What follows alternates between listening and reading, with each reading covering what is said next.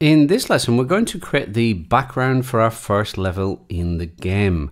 Now, the first thing I want to do is over on the left-hand panel here, this scene tree area, I'm going to click on 2D scene. So double click on there, and that creates a node 2D. And I'm going to rename this, double click on it. I'm going to rename this as level one. So this is level one of our maze game and we're going to build level one by adding nodes using this scene tree here. And we can click on the plus to add new nodes and this node that we add will be a child node of this first level one node here. Now you can think of nodes as building blocks of our game. It could be a game character, it could be a block or a tree or a background or a piece of text, etc. So let's click on and add a child node to this level 1. And we'll click on plus and we can search for different types of nodes. And the first one I want to search for is tile map. So I've typed in tile, there's tile map. I'll double click to add the tile map node.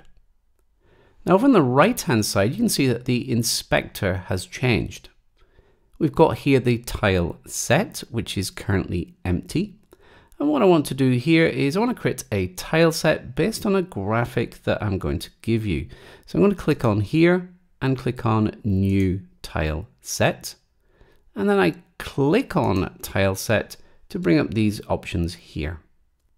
Now over on the left hand side here, we've got our file system and currently we've only got two files in there. We've got the default environment and we've got this icon.png. So I'm going to add some new resources in here.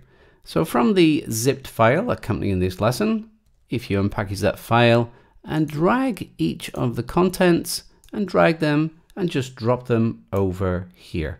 You can see we've got these resources now available to us.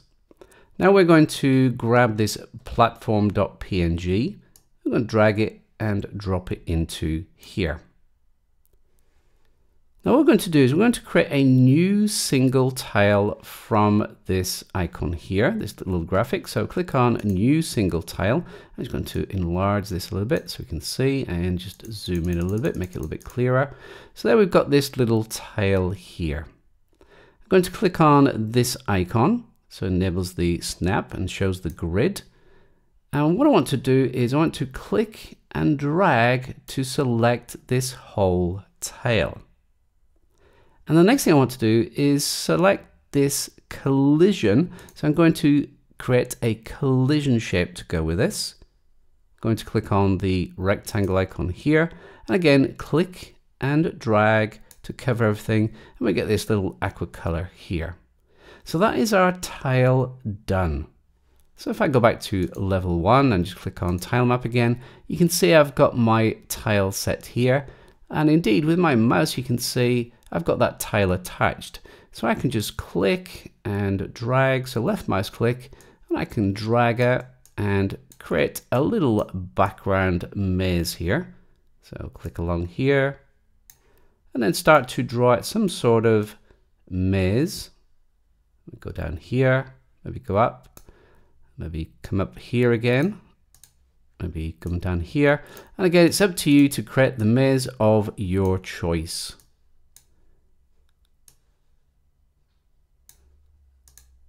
And I think that'll do for this first level. So that's creating a maze. Now, if you notice in the top left hand side here on this tab, it says unsaved. So I'm going to press Command S it automatically gives the file name the same as my root node. My root node was called level one. So we're going to save this scene as level one.tscn and click on save. And there we can see in our little uh, file system down here on the left, we've got level one.tscn. And the last thing we're going to do is this tile map. We're probably going to have multiple levels, so we're going to save this tile map as well. So over on the right hand side where we've got the tile set, we're going to save this. It's called level1.tres. I'm going to change that. I'm going to change this, um, let's call it platforms or walls. Let's call it walls. So walls.tres and save that. So that is now saved. So if I want to create a new level, and you can practice this, to create a new scene, I can click on the plus here, or I can go to scene and new scene. There we've got a new level here. Click on 2D scene, double click on the node, call this one level 2,